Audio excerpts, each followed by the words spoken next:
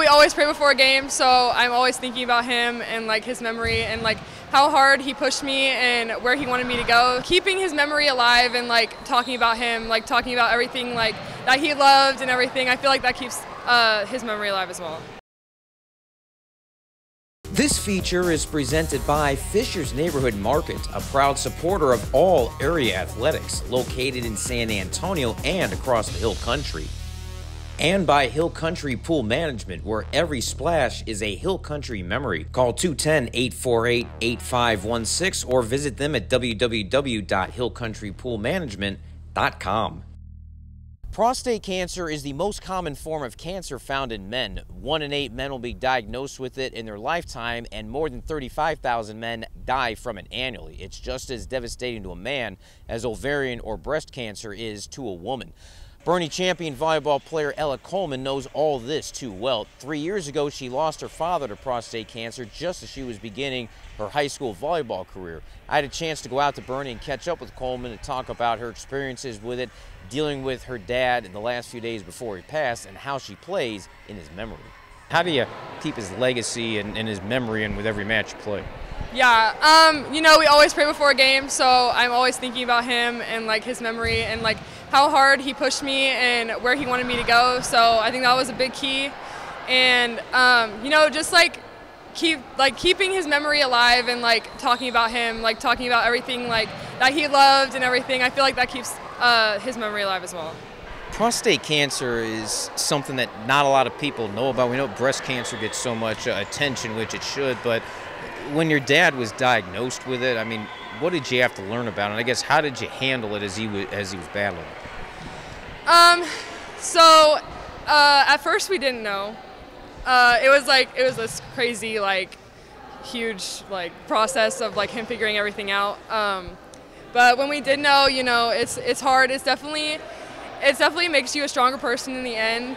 Um, but I just have to keep reminding myself that like he's in a better place now and he's not in pain anymore. So, and I feel like just keeping his memory alive like that. What were things that y'all were doing while he was bat while he was battling? When he felt like it, we would always try to go traveling and just try to do like as much as he wanted to. Um, he really loved fishing and just like being out in the water, so we try to do that as much as possible. And then um, it was not as hard, I guess, in the sense that we could like see, like we knew that it was coming to an end, like like we knew he was going to pass soon. So I feel like just seeing him like slowly change and like kind of like deteriorate throughout the years, like that's just kind of like how we kind of knew, and we were able to prepare for that more. How were you able to spend the final weeks, months, moments with him, uh, knowing that he, knowing that it was it was not going to, you know what I mean? Yes, I do. Um, you know, I tried to spend as much time with him as possible. Um, honestly, with volleyball and school, it was kind of difficult, especially at the time, like with high school season, like we're having to work out every day at the time. Um, so just trying to like prioritize time with him and volleyball and school, like it was it was stressful, but at the same time, like it's making me a better person all in the end. How do you how does it make you a better person? With the absence of a dad in your life, it just teaches you many more values that you would think wouldn't. So like just like learning to like respect yourself and stick to your own ways and um, just like keep your self image to yourself and like knowing that that's where he wanted you and not like what everyone else wants you. When he passed, I mean, what what were you doing to try to not not forget about it or distract from it? But I mean, just how how did you cope with it? He passed in our household, so we were able to spend as much time with him as possible and just like we were able to like tell him, hold his hand, and we were just able to tell him like you're okay, you're good. Like if you need to go, you can go. Um, uh, it was definitely hard for me personally. I didn't have the best relationship with my dad, so it was harder for me to kind of accept that. But I go and look back on everything, and um, I am 100% like I would have done the same thing I would have done.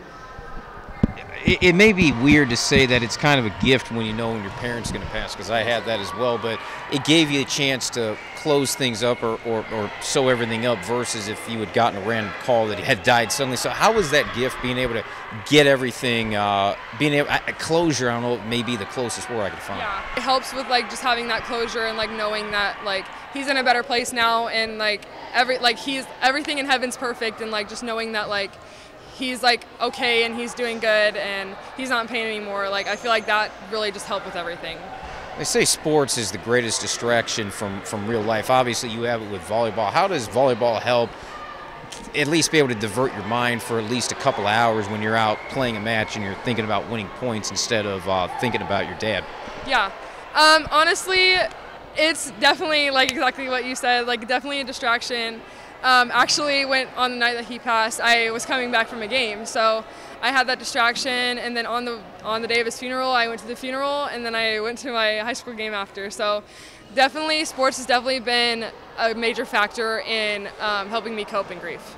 How do you go through your senior year? Because you're gonna have one more chance to try to get champion back to the playoffs. You'll you'll graduate. You'll have the, the senior moments that everybody does, and I, I, guess how do you kind of handle it and get that get that support? Yeah. Um, you know, I know my whole team's behind me, and I know they all support me through everything. So they're like the main people, and my coaches as well. Like the whole program is all supportive of each other. So I feel like that's a major factor in like helping me um, understand that I have people behind me that I can trust. And um, yeah, and I think we all have like a big mindset. I feel like it all helps when we all have this big mindset of wanting to go as far as we can, and we all have the overall end goal of going to playoffs. So I feel like that helps a lot too. You're not alone as far as uh, kids who lose a parent at, at, a, at a young age. How do you help others? Because there's probably a lot of other kids your age or even adults that aren't able to aren't able to handle it or able to grieve. Yeah, for sure.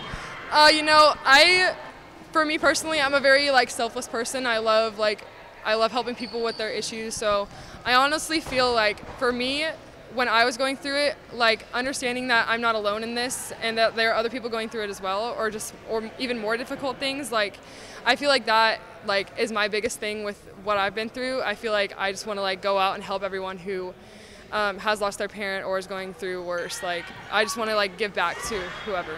Reporting from Boerne, I am Mr. Bowtie. Hey folks, Mr. Bowtie here. Keep banging home that subscribe button on your screen so that way you can stay up to date on all the great local sports coverage not found on TV or in a cheap web stream. And don't forget to hit me up on Twitter at Mr. Bowtie 1982 It's fast, it's free, and you're going to make my dogs think I'm the best person in the world.